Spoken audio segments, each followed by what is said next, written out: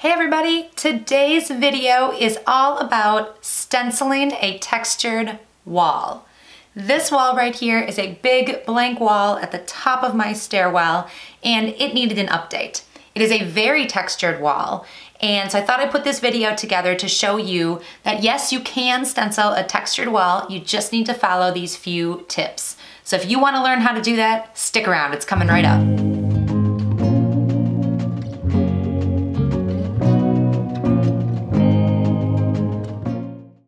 Hey there, I'm Sarah. This is Creative Ramblings, where I share simple, inspiring videos. With new videos every week, you are bound to learn something new. I share simple crafts, easy DIYs, lots of seasonal decor, and all kinds of home projects. There's a lot of stuff for your kids on here too. If that sounds like something that you wanna see, hit that subscribe button so you don't miss my next video. So let's jump right into today's video. I am going to show you how to stencil a textured wall. There are a few key tips that you need to follow to get these crisp lines. I'm also gonna show you how to get this cool look that is like white on white this wall is painted white and then I used a metallic white paint to go over it and it gives a beautiful effect. The wall looks different from sunrise to sunset and throughout the night. It's a really fun way to dress up a wall in your home. So I'm gonna take you back to before this was done and I am gonna walk you through step by step how to stencil a textured wall. Now I have very textured walls in my home. That doesn't mean I can't do fun things with them. It just takes a few extra steps to make these walls look good. So I'm gonna show you how to paint a textured wall and how to stencil a textured wall. When you're stenciling on walls that have a lot of texture like this, uh, there's just a few steps you need to take to make sure that that paint doesn't bleed and you have crisp, beautiful lines. Now I've done quite a few videos about stenciling before, specifically stenciling signs and other crafts. If you wanna see those, you can take a look at this playlist. All right, so the first thing I am going to do is take everything off this wall and get it prepped. I am going to paint this using a ultra white paint from Behr. It's a Behr Marquee paint and it is a satin finish. When these walls were originally painted, they were done with a flat paint and it's really just left a lot of damage on the walls because all the fingerprints and all the touching and the bumping that runs into it just stays on the wall and it is not a good look for anybody. So we're gonna start by painting this white and letting it dry and then we'll get into the stencil.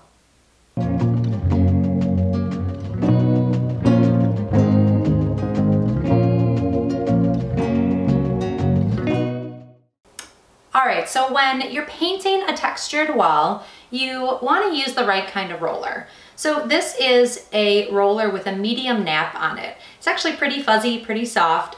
This is going to help get the paint in between all these grooves on the wall. And like when painting anything, do one or two very light coats and let it dry a little bit in between for the best coverage. You're gonna avoid any drips. You also wanna get a good brush so you can go along these corners and the edges and the baseboards um, and get a nice crisp line. Um, even this right here, I'm not gonna paint around the corner, so I just wanna be able to get a nice crisp line along there as well.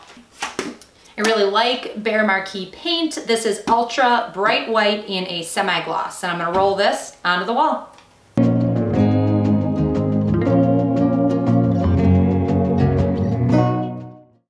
Right, so our wall is dry and we are ready to stencil.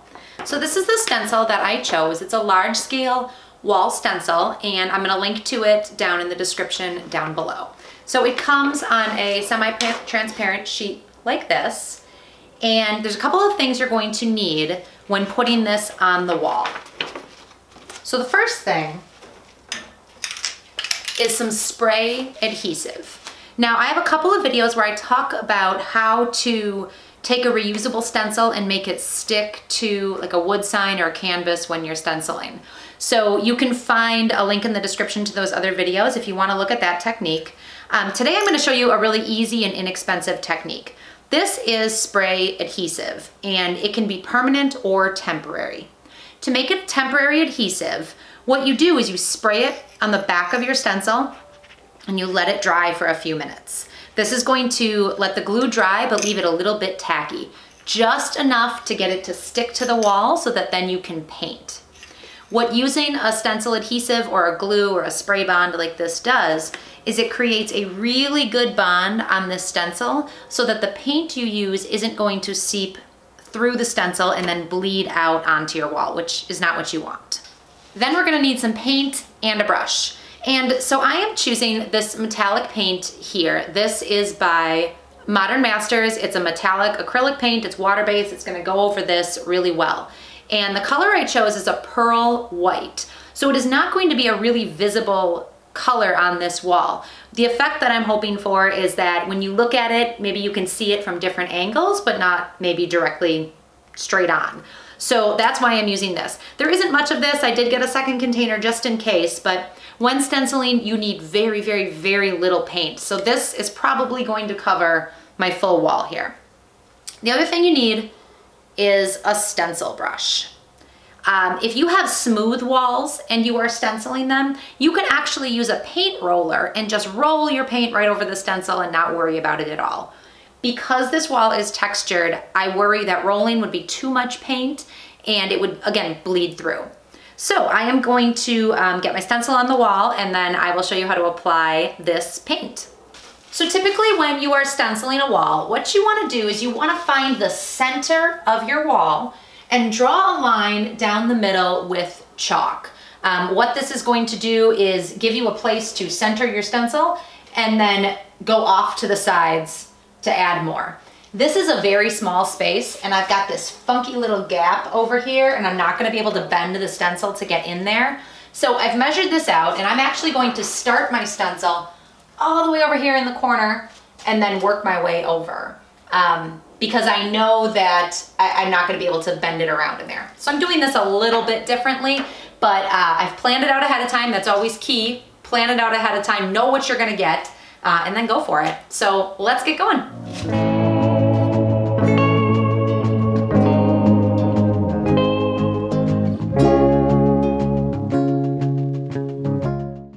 Okay, so I've got a little bit of the metallic paint or the pearl white paint on a plate here.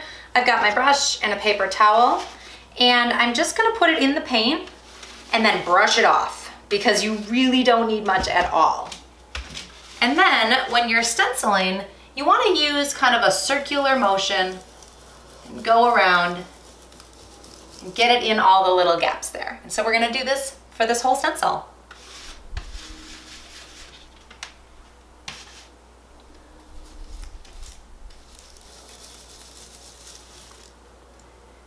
Now what you can do here, before I pull it off completely, is I can just peek underneath here and take a look at what the stencil looks like, kind of gauge whether or not I've used too much paint, not enough paint, and this is actually looking really good. So now I'm gonna pull the whole stencil off and reposition it for our next round. So when pulling the stencil off, start at a corner,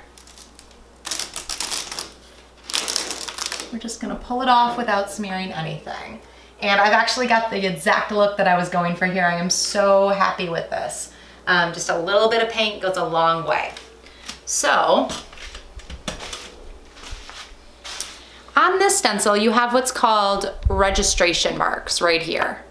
And these registration marks are what is going to line up with the part of the stencil that's already on the wall so that I know where to position it for my next round. Now right now I don't need to add more adhesive because this is still sticking really well, but eventually as I go through this project I'm probably going to need to add a little bit more adhesive. So just gauge whether or not it's sticking.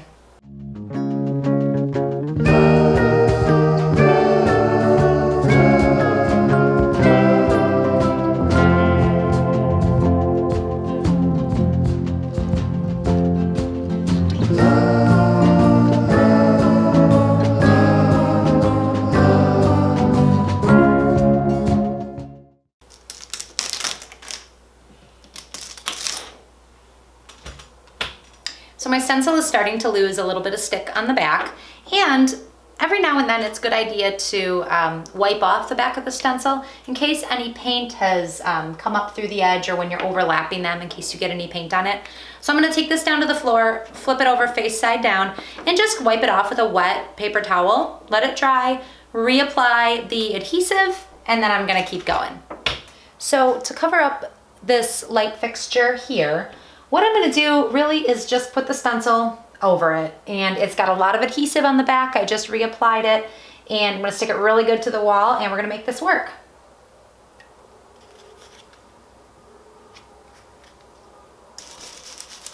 And for this piece of the stencil, I'm gonna hold it on with my hands because it doesn't have the best adhesion because of that light switch right there. The other option would be to cut around this stencil, but I do think I wanna use this on another wall in my home, so I'm not ready to cut it apart just yet. Now the last step is finishing off this edge. And so all I'm gonna do is take the stencil and just hang it off the wall here. Overlap this edge and then fill in just that little bit. And this requires a little bit of holding on to this as well so that uh, the stencil doesn't slip.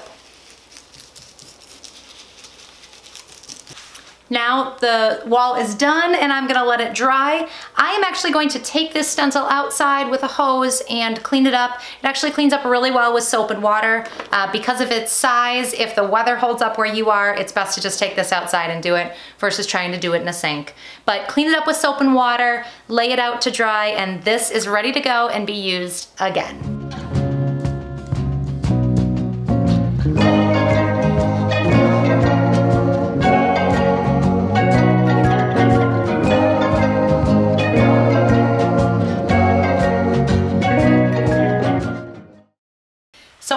Absolutely loving how this wall turned out. I've got this beautiful stencil that has crisp lines and it turned out just beautiful.